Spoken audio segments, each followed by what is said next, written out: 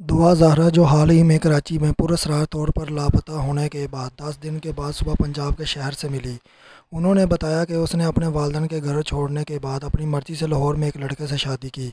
नौजवान ने एक वीड लड़की ने एक वीडियो में बयान में कहा कि उसे अगवा नहीं किया गया। उसने मज़ीद कहा कि वो अठारह साल की बालग है। उसने अपने वालदेन के उन दावों को मुस्तर किया कि वो कम उम्र है।